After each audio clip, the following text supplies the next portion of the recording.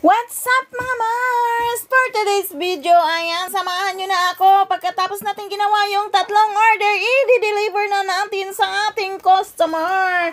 Ayan, mainit-init pa yan. Di-deliver na natin. Tara na, gora na tayo mga Mars.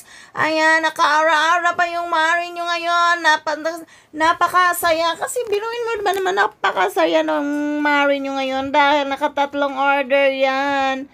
Ayan, lalabas na nga tayo ng gate at eto na nga, papunta na tayo sa aking Pajero.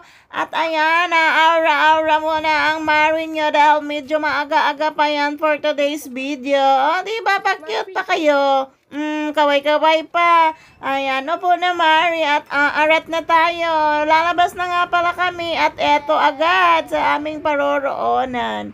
Papasok na nga pala kami dito at hahanapin na namin yung bahay ng aming customer.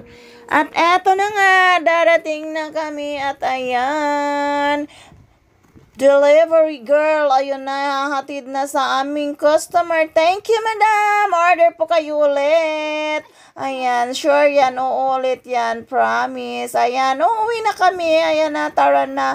Eto nga pa yung aming community. Pagdating ng hapon, napakasarap maglakad-lakad dito. Tahimik, mapayapa. O, oh, di ba mapayapa? Sana all. Ayan na, tara na. Yan lang, bye.